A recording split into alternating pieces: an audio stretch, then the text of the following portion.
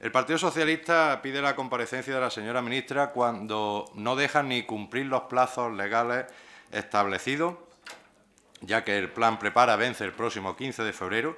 y además cuando es necesario llevar a cabo la evaluación y valoración de los resultados. Pero para llevar a cabo esa evaluación y valoración de los resultados es necesario estar prácticamente en la finalización del plan prepara para ver cuál ha sido el resultado de lo mismo.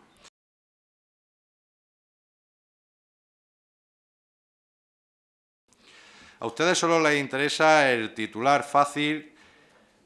y barato, pero da la casualidad que cuando llega al Pleno del Congreso de los Diputados el plan prepara, ustedes votan en contra del plan prepara y abandonan precisamente a los desempleados que no tienen cobertura. Y los desempleados, evidentemente, son conscientes de su hipocresía política y de su falta de rigor y de seriedad.